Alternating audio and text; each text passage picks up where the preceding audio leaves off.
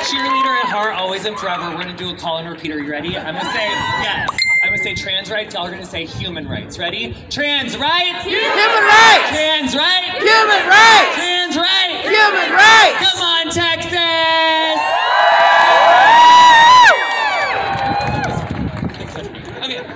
Yes, I'm Jonathan Van Ness. I'm so excited to be here. Uh, thank you, Equality Texas and GLAAD and everyone at the Ally Coalition for having me today. Yes, cheer for those organizations. Much.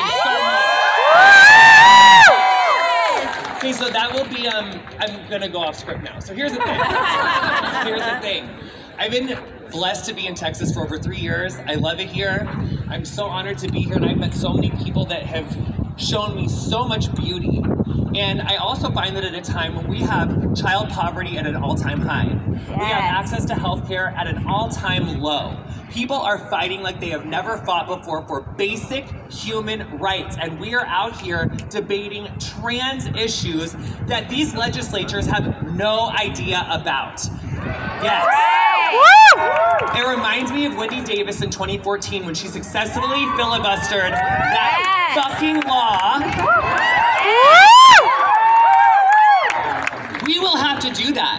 Will have to be back on these steps in those chambers protesting and fighting for our rights. This is the first of many times. This session ends at the end of May. We will be looking forward to seeing all of you again.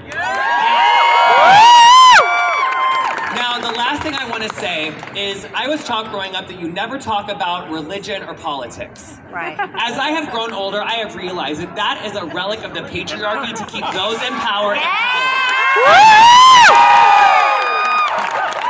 Because they know that when we start to talk about what is really going on, their smoke and mirrors game is gone.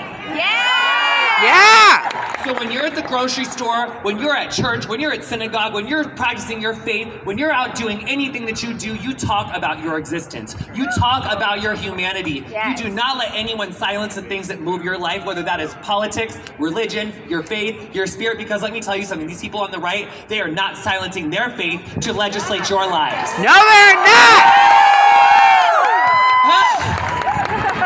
So, anyway, that was fun. Uh, give it up for these beautiful people behind me. Give it up.